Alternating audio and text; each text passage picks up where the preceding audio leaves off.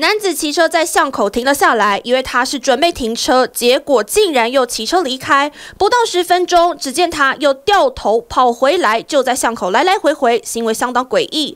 结果几个小时后，一户民宅玻璃竟然变成这样，玻璃破了一个大洞，甚至地面上还可以明显看到鞭炮炸过痕迹以及残骸。原来刚刚这名骑士就是来放炮寻仇的。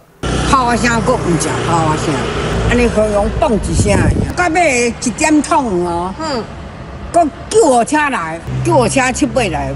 其实双方都认识，当初嫌犯是先在这个路口徘徊了约三小时，看准时机就到这个住家门口来放炮，立刻离开。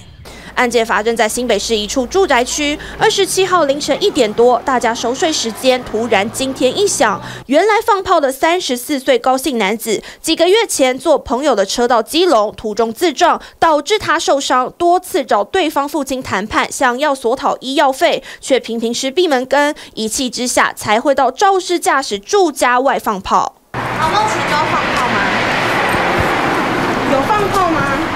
警方获报巡线十一小时，逮到人。高姓嫌犯被以恐吓、毁损以及涉违法函送。只见他听到媒体问话，一句话都没说。有毒品前科的他，平时打零工为生。这回为了车祸后的医疗费用，却用最坏的方式跟朋友讨钱。这下友情没了，一切法庭上说。TVB 新闻叶瑞生、吴新燕，新北市报道。请支持一个专门报道国际新闻的全新 YouTube 频道 TVBS 国际 Plus，扩大视野，掌握趋势。请订阅并开启通知小铃铛。